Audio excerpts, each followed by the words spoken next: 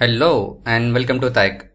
I am Mohammed Adnan and in this video we are going to discuss about how to add a multiple filter in Power Query in a single step. So if you notice I have added these diagrams I mean the logos here it means we are going to use all this functionality inside to these applications. Just for information if you haven't seen that I just launched a video about that please go and check out that video as well. If you are new to this channel or if you haven't subscribed yet, just click on the subscribe button and also press the bell icon to get the latest notifications. Now let's get started. I'm into Power Query in Power BI Desktop. Okay, this is a dummy file uh, which the sample data I have it here. It is just customer ID, name and phone number. Usually when you want to filter in Power Query, so what we do, we just click on this column name, whether it is name or date or ID and then go to text filter if it is the name and we select only any these options. And then we can make an any input entry for us whatever we want to do here. And then that's it. Right?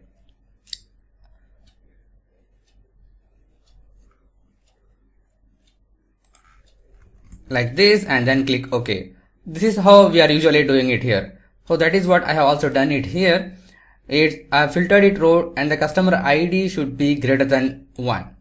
This is what I have done it here.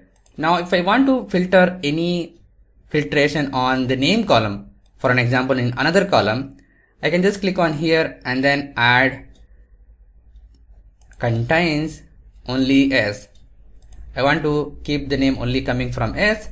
If it yes, then it gives me 0 here and because both the name has contains s in that case if I select J here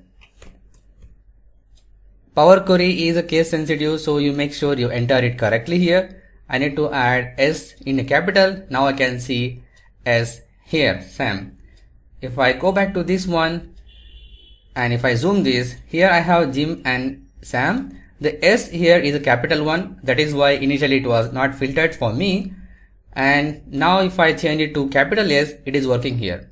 So Power Query is a case sensitive that we should always keep in mind. So here if you look at this one it is adding a two different steps here right rows filtered rows and filtered rows one. So basically what it does is Power Query will do this transformation first and then it goes to this one. This is an additional process right and as this is a static table so the native query is not here. But if you are using it as SQL Server or something else and I believe this one native query will be enabled for this step also so you may not have any issues with that.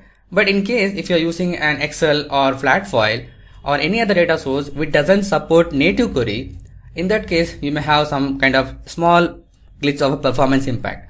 Because we are filtering it in two different steps. So it has to load one step and then it has to do the second process so that is why I thought to add these two filtration into one single step itself. So for that there is no direct option here in the user interface.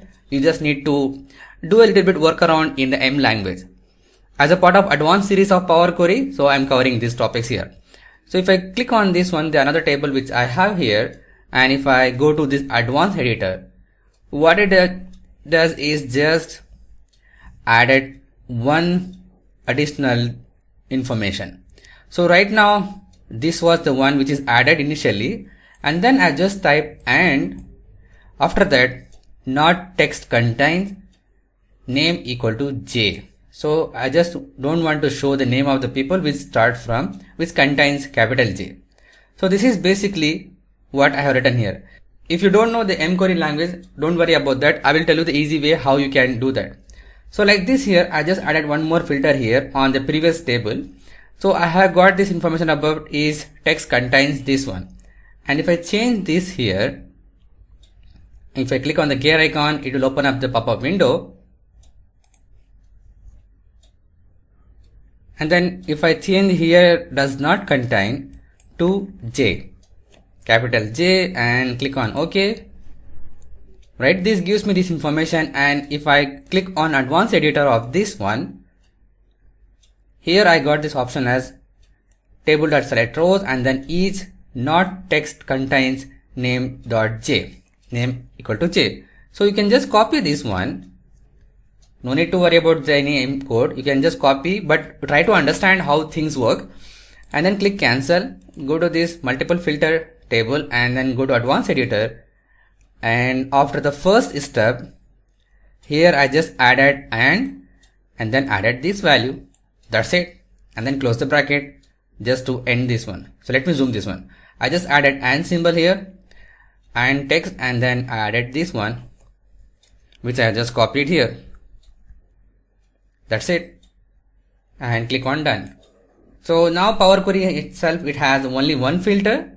And inside to that it has a multiple filters this is cool right so this is how you can able to add multiple filters in Power Query and it's an useful thing so you make sure you use these features whenever you develop something else in Power Query and if you want to do multiple filters you can do it in a single step itself.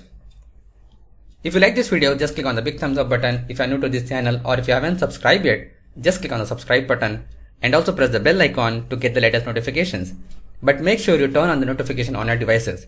Share it with your friends and colleagues. If you have any queries and feedback, just post it on the comment section below. Thanks for watching. Keep learning. See you in the next video.